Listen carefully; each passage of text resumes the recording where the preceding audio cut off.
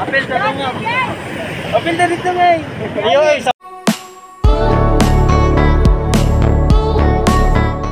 Enjoy nga si Mr. President Duterte at nito lamang namataan itong nagmumotorsiklo sa Davao at papunta nga sila sa Digo City. Marami nga itong mga kasabay at nagmistulang motorcade ito.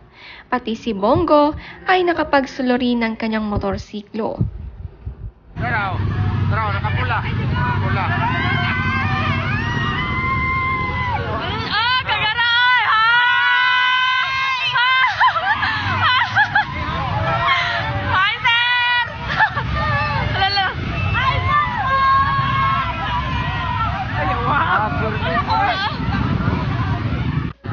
Naganap ito nitong Saturday at kitang-kita ang pag enjoy ni Mr. President Duterte na muli niyang nagawa ang kanyang mga libangan noong hindi pa siya presidente.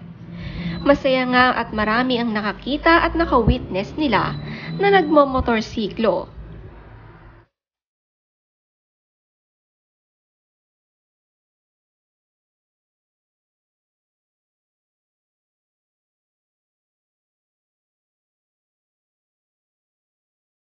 Duterte.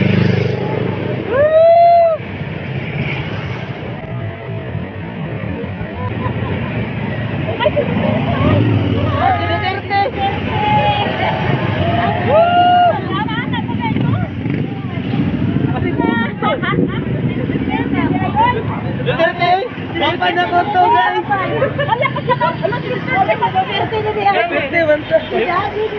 Apel sa nga. Apel na dito nga. Ayo, isa.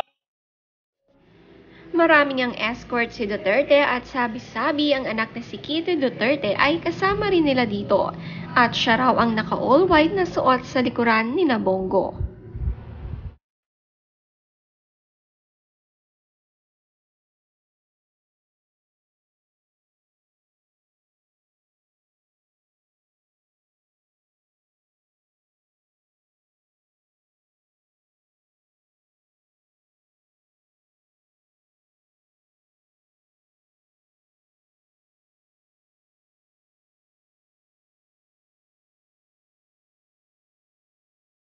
Talagang marami ang nagsigawan sa motor ride ni Pangulong Duterte. Marami ang nag-abang sa mga daanan nang mabalita nila na dadaan si Pangulong Duterte dito na nakamotor. Matagal din nilang hindi ito nakita at masaya silang matunghayan ito live.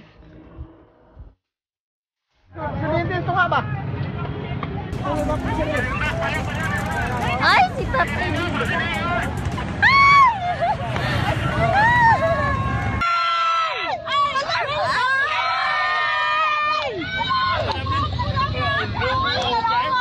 Oh, naa sila. Uy, padaplin mo, oy. Hello, ah.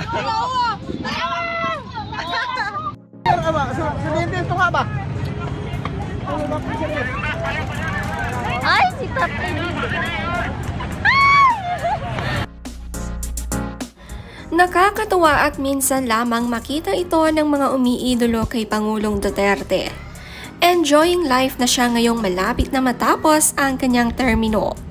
At ayon sa kanya ay maaga siyang bababa sa pwesto para bigyan ng time ang papalit sa kanya dito na sina BBM at anak niyang si Inday Sara.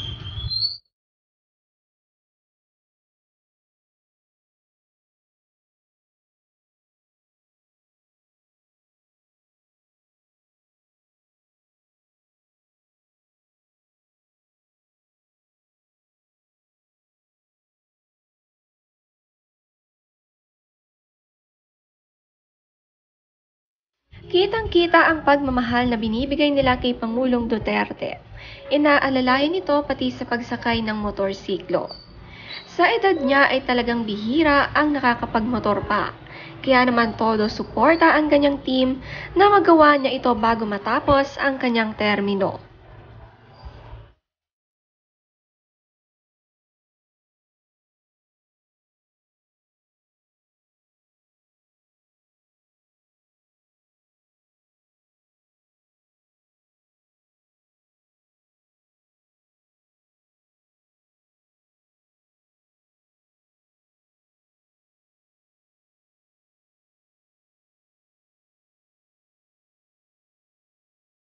Napaka-perfect at talagang pinag-usapan sa social media ang kanyang naging motorcade dito sa Davao City. Sa wakas ay makakabalik na si Pangulong Duterte sa kanyang lugar na minamahal na Davao matapos ang anim na taong serbisyo sa bayan ng Pilipinas.